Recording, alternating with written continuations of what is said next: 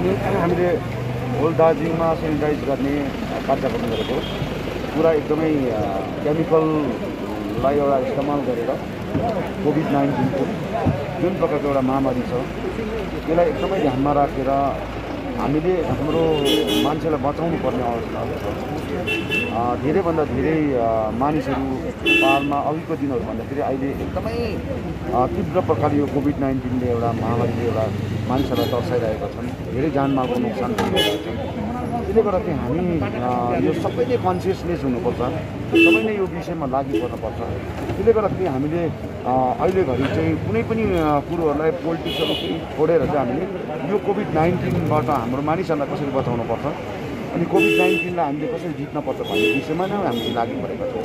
त्यसले गर्दा मान्छेलाई दिनु सक्ने जुन प्रकारको एउटा मास्क भयो सेनिटाइजर भयो है यो कतिवटा हामीले हेल्थ केयरको लागि एकदमै हामी लागि परेका छौँ। र यही विषय चाहिँ अहिलेको घडीमा चाहिँ एकदमै सर्वप्रथम हाम्रो एउटा इम्पोर्टेन्ट यो चिज छ। र पोलिटिक्स भन्ने कुरो त आउँछ जान्छ तर यो मानिस जिउन पर्छ मानिस बाँच्न पर्छ।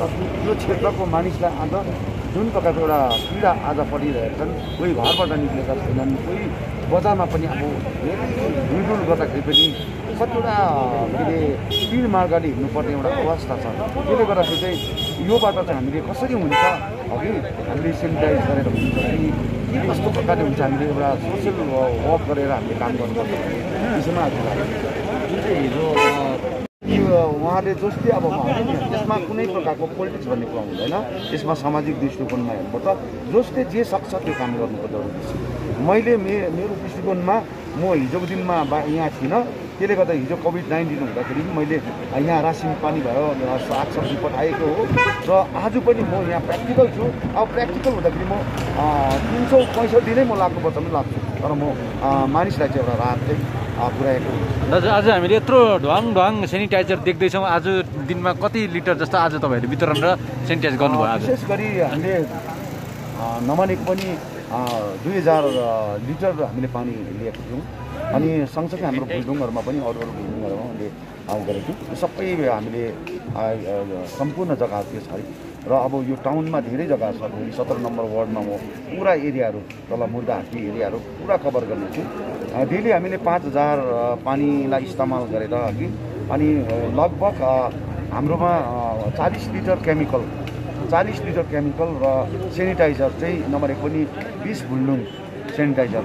भन्नुको मतलब बिस बिल्डिङ मतलब भन्नुको मतलब त्यहाँनिर पचास लिटर चाहिँ तपाईँको सेनिटाइजर थियो। मिक्स गरेर हामीले जुन हाल्दैछौँ ताकि एकदम छिटोभन्दा छिटो त्यसले चाहिँ असर परोस् भनेर कोभिड नाइन्टिन आज म यो चौरस्ता एरियादेखि लिएर यो टोटल यो एरिया गरेर माथि प्लान्टर्सहरू एरियाहरू अनि त्यो यता यो यता सबै यो हामीले बिग बजारहरूदेखि लिएर यो सबै एरियाहरू कभर गरेर भिडियो गर्दैछ अनि यो भिडियो चाहिँ अब हामीले एउटा लार्ज स्केलमा गरौँ भने किनकि एकदमै ग्यादरिङ एरिया हो अघि र यो एरियाको लागि चाहिँ हामीले नम्बर एक पनि यसो दस बाह्र हजार पानीको एउटा प्रावधान त्यसको लागि चाहिँ मैले एउटा ट्याङ्करहरूलाई एउटा प्रावधान मिलाउने गरेको छु र फेरि नेक्स्ट डे अब दुई तिन दिनभित्रमा फेरि टाउनलाई चाहिँ एकदमै स्पिडमा हामी यो काम गर्नेछौँ रोज नै छु रोज नै छौँ अनि मेरो जति पनि पैँतालिसवटा समष्टिको अनि तराई डुवर्समा पनि यो काम गर्दैछ मैले टोटल सेनिटाइजको